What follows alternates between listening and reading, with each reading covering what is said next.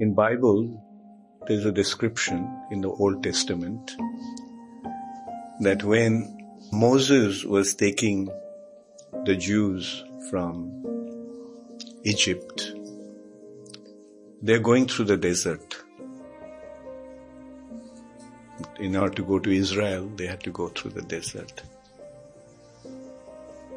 In the desert, they never starved. Although they were traveling through desert, the Lord was providing them with the food called manna. Of course, that leads to another incident. Some people became uh, tired, sick, listen, bored of eating manna every day. So they told Moses that uh, that we want a change in food. We want some meat. So Moses says, look, if you want, the Lord will provide. But be prepared for the consequence. And the next morning they found all so many birds. And they all got very excited, some of them. They caught the birds and they ate the flesh of the birds.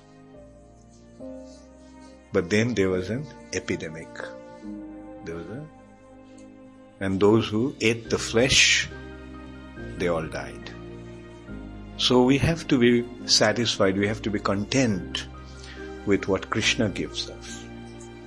Whatever Krishna gives us, we should just accept it with a grateful heart.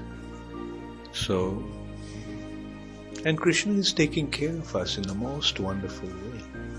So often we think that we didn't get this, we didn't get that. But we never think how much we already got. What can be more wonderful than a, a breath of fresh air? Huh? That air that we are breathing, how wonderful it is. All the nectars in the world put together will not equal to just one a lung full of breath. Krishna has given us so much.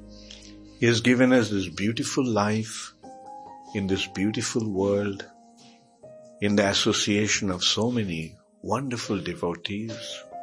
So what more do we need? And as a devotee, we learn to appreciate that.